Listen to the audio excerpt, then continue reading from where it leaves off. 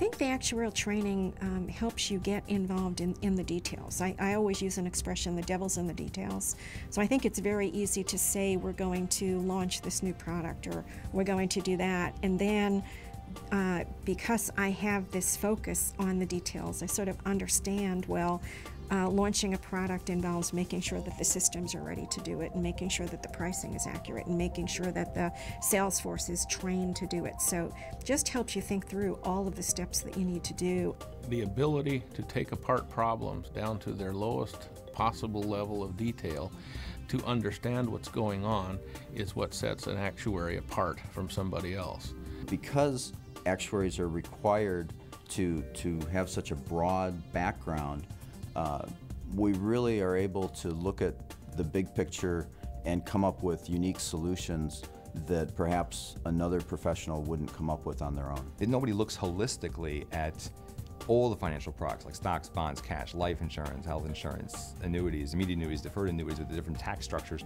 Really only actuaries are in a position to, to assess all of that. We come in sort of as an unbiased expert where we're looking at the facts, we're trying to help them understand what the answers are, and they tend to trust us because we are this reliable, unbiased source of information that can give them a straight answer. We know the nuances of our own companies much better than someone else would, and so we're able to better prioritize the risks to, to identify which ones should be dealt with first and then to, to help quantify those risks as we move forward. I've also learned never to just trust that things will happen, to set up monitoring practices that so you're always watching, whether it's launching a new product or I'm now involved in integrating companies, um, making sure that companies get integrated. It's having very detailed plans and monitoring that those plans are actually being executed. I've spent most of my career working on how to make the system more cost effective, more efficient with higher quality.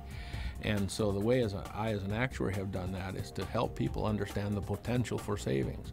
In fact, I've developed some, some terminology that I use to help people understand how much potential is there to save some more money.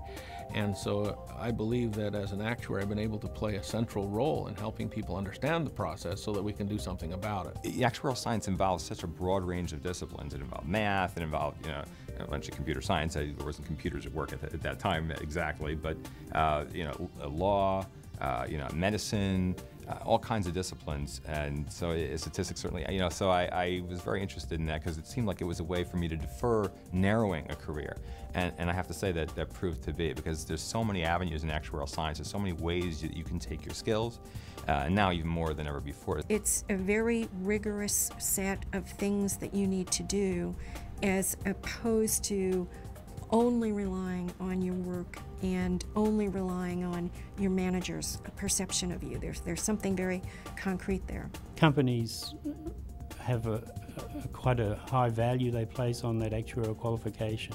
So we see our students getting hired into many different areas and, and recognised for the training they've been given. Employers view the actuarial credentials as as a very high minimum standard that they know that when they get an actuary in the door that they're getting someone who will add value to their to their organization. You have a very defined set of exams and you take those exams and most companies recognize uh, passing those exams by giving you promotions, uh, salary increases.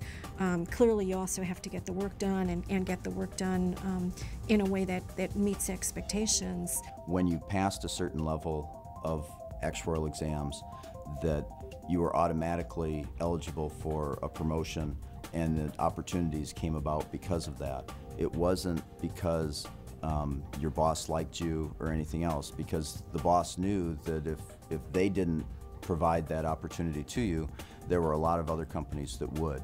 And so it, allows someone coming from a middle class background to be able to step into a high powered uh, industry and be able to really make a name for themselves.